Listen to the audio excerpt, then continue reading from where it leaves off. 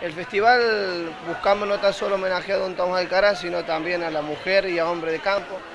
reivindicándolo a través de manifestaciones culturales, artesanales, la danza, el folclore, un poco las costumbres y tradiciones camperas que le llamamos nosotros, para tener un día criollo, porque el desarrollo acá en San Luis y en las, pequeñas localidades va muy dinámico y no se puede dejar de lado un poco lo, tradicional, ¿no es cierto? A partir de las ocho y media, la agrupación gaucha Tomás Alcaraz, eh, que es la anfitriona de las demás, va, a dar recibimiento a las que llegan de los diferentes puntos del sur, de los Molles, eh, la escuadra Renacer Cuyano este, desde el oeste por el acceso y la de los Chañares y Nogolí desde el norte. Los esperamos, hacemos un saludo